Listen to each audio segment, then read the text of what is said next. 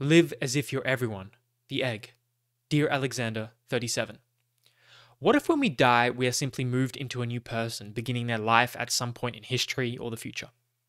The catch is, we are not actually born until we live the life of every human that has ever lived. While we can't prove or disprove this, maybe that doesn't matter.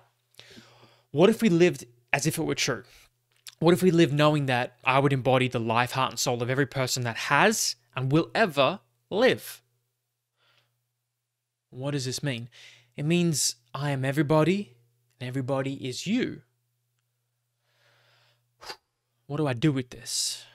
Well, I treat everyone like I am them and they are me. So this would mean every time I hurt someone, I'm hurting myself. Every act of kindness I've done, I've done to myself. Every time I've harbored resentment, anger, or frustration at someone, I have thrust those emotions onto myself. Every happy and sad moment ever experienced by any human was or will be experienced by you, by me.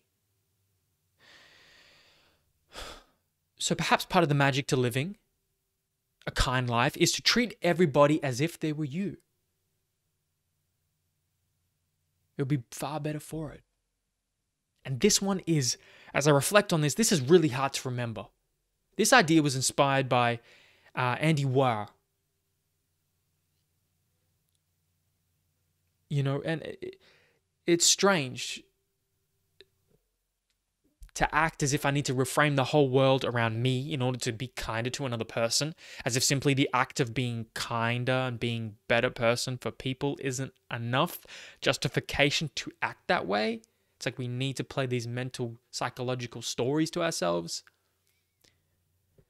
Maybe I don't have to hold just that view alone. You know, who says I can't simultaneously try and be kinder to others because I really believe they are their own person and still act as if I am them and they are me. Maybe I can hold two of those views at the same time.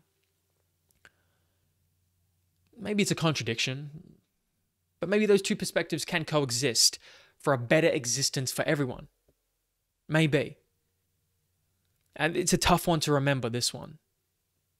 Uh, this is why I do things like this. I, need to recite them to myself. I need to reflect upon them. I need to talk about them again.